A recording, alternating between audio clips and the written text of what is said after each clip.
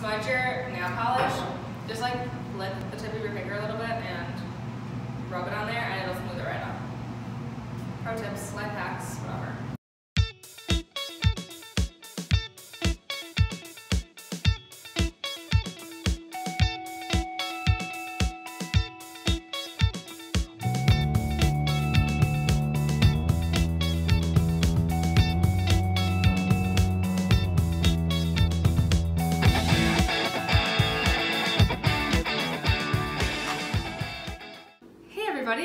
Lauren. Um, sticking with our tropical theme that we've been doing, tonight I'm going to show you how to make a pina colada. The first thing I'm going to do is just blend up a little bit of ice. Unfortunately, I don't have an ice crusher, so I'm hoping that my blender can handle this.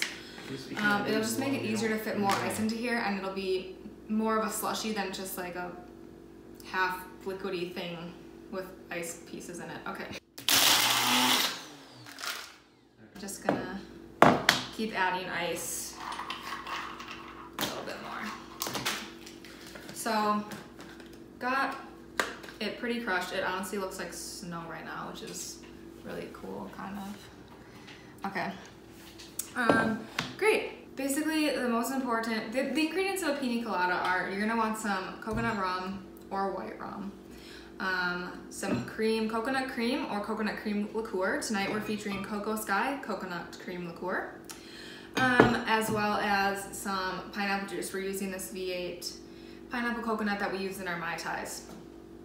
Um, and then we're also gonna be adding some toasted pineapple um, drinking bitters from Bitter Love. That'll add a little extra kick to it, as well as, this is the secret ingredient, people. Okay, are you ready? We are putting pineapple hot sauce straight from Hawaii into these pina coladas. Not a lot, but it's gonna be a little bit of a zinger. We've got our ice ready to go. Um, first going to um, pour out some of this rum. So we're going to do a single shot of the Malibu. Put that in there. And then we will do a double shot of the Cocoa Sky coconut cream liqueur. Okay, double shot of Cocoa Sky. This stuff is really good, you guys. You can actually just drink this straight on ice, and it's pretty fantastic. All right, so we got our two liqueurs in there. Um, then we are going to almost top this off with the pineapple coconut juice, but leave a little bit of the room on the top for a splash of drinking bitters.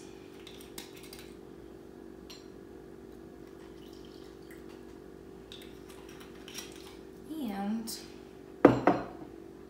final touch, a dash of hot sauce.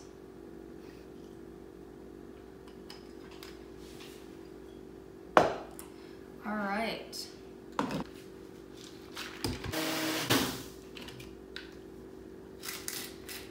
Once it's all blended up, you can pour it out into a hurricane glass, which I currently do not have in my kitchen, or a margarita glass, which works just as good.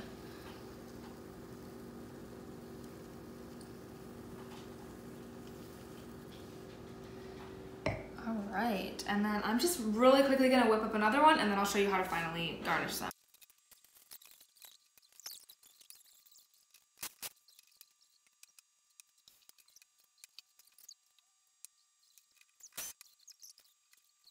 All right.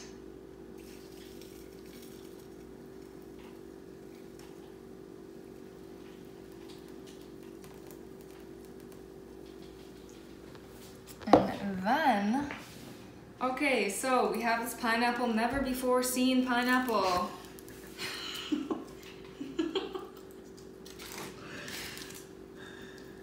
Did you know pineapples were so easy to cut? No, you didn't. They're not that easy. I cut this earlier. So I'm gonna cut slices that are about this thick for the garnish. Um, and then you kind of just want like triangles. So the skin is a little bit tough. Um, so then you just go so cut out a wedge And then super easy and cute garnish. You leave the skin right on there. Okay. Um,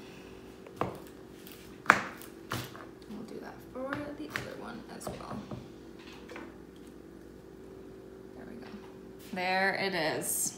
And that is a spicy pina colada. Hey guys, it's Lauren and the foreign. And we are freezing in this room. We are drinking frozen pina coladas, even though it's freezing and it's the middle of winter. But cheers to tropical vibes. So last week, the foreign and Valerie made me eat a hot Cheeto. Extra, extra flaming hot Cheeto. That's they made. And did you like it? Here's the thing, it did taste good. It tasted like a Cheeto, but then afterwards I about died. So like, I'd rather just have a regular Cheeto.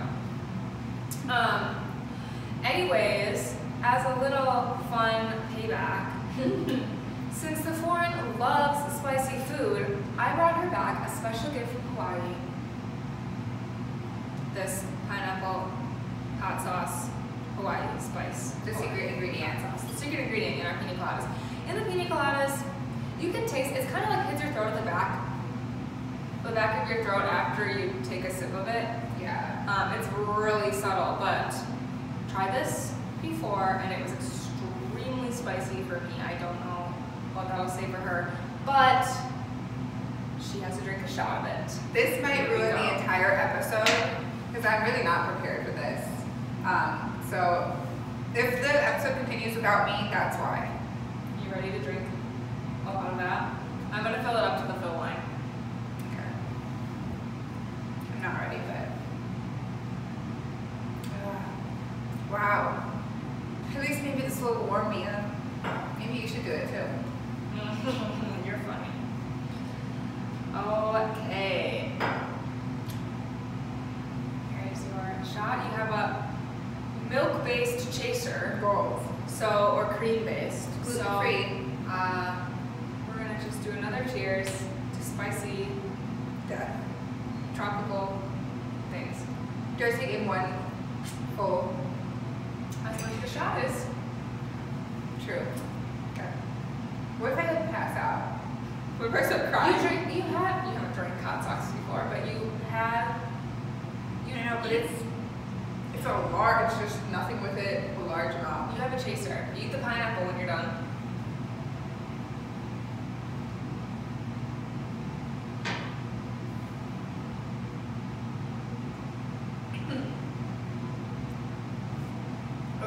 Okay, yeah.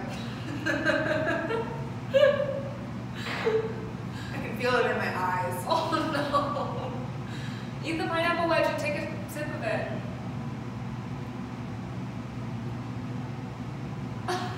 it was fine at first. I was like, wow, this tastes good. But then the spiciness hits all your senses. My, my, it hurts to think. Oh no. My mouth hurts, my nose hurts, my eyes hurt. I don't know if this is helping. Okay, not as bad as I thought it was going to be, but it takes a second for it to hit you, and when it does, it feels like your whole head's on fire, so. Do you want to wash out your mouth with soap? Do you? My like esophagus, like, everything is just heat right now. Like it feels like there's a flame. It's like starting to slowly set in more and more, and it's like. Maybe you should have drank more of that first to prime your innards. I just feel like my kidneys and my liver are on fire. I don't know if anyone's ever gotten like so sick or you can feel your organs. Oh my gosh. That's what this is slowly starting to be evident to me. I imagine that like these are my kidneys right now and I can feel them. I feel like I, if you, you know, like when you a dragon in a movie or TV show, a dragon. That's what I'm breathing right now. Frozen drink, creamy drink, it'll help. Fun fact about pineapples, in case anyone didn't know, they have bromium or bromine, which is the chemical that's in them, which is what? Bromine, I think it's called bromine. And bromine is what breaks down the protein. More chemistry. Wow.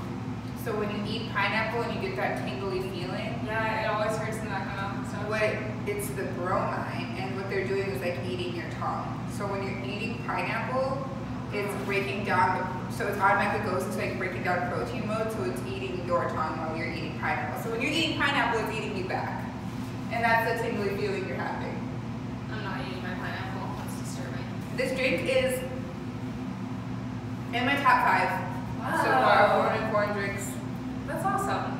I really like it because um, I like anything tropical. It reminds me of summer. I like pineapple a lot. I like coconut a lot. So I kind of have to like both of those things. And it's like not too sweet. We put you used rum and the cream liqueur, and I thought like all together everything would be so sweet, but it's pretty subtle. So it's easy to drink. You don't feel like you're drinking like a pile of sugar, and it's just a very refreshing, fun drink. It is refreshing. Top five. Imagine if you were attacked by just one giant bromine and like your whole self just disintegrated. and what would happen if you covered your whole body in Oh. like raw pineapple? Oh my gosh. That's probably why you don't hear about much like pineapple flavored bath products, like straight pineapple. True.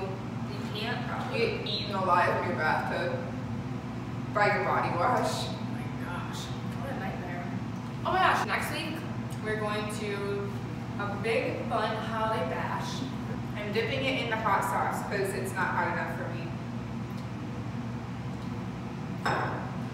Yeah, that's what this mix is missing. Pineapple hot sauce. Something spicy like a pineapple hot sauce. Oh yeah, so we're going to this holiday bash. There's gonna be like games and food and holiday cocktails. Wait, what? Yeah.